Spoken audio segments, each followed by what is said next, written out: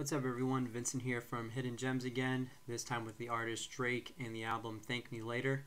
I know, I know, Drake's not a hidden gem or this album isn't a hidden gem, but I didn't really listen to stuff like this growing up. I listened to more of like nu metal and all that stuff, so wanted to take a look at artists back then that are huge now or were huge back then and still huge now um, and re-dive those. So we'll be doing like a Drake dive and any other artists that I believe I missed growing up just because of all the other stuff I was listening to. Uh, but wanted to dive this one, Drake's Thank Me Later. So we'll start off with the single Over. Great beat here and rhythm. Lyrics were good as well, saying like my career is going to last forever and it's never going to be over and just rolling for as long as he can to keep going and keep pushing forward like he has so far and will probably continue to do so. Uh, one of the first hidden gems that I liked the most was The Resistance.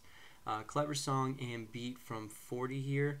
I uh, like the story about how he was telling the old him that he needs to let go of the past and move forward, even if it means losing friends or losing any connections to his past. But once you make it, you want to keep it, so have to make some decisions on that. So great song there for the Resistance and a great beat from the producer 40.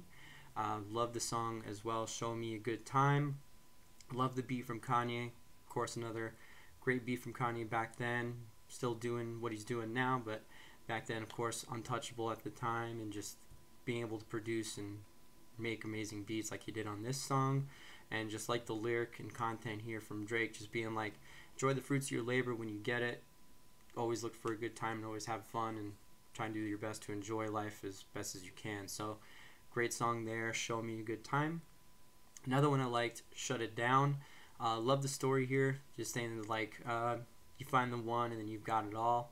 Love the production here from 40 and the way it kept like the beat progression here.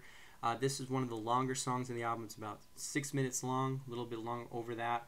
And if you've watched any of my videos before, I'm a big proponent to longer songs as long as there's progression.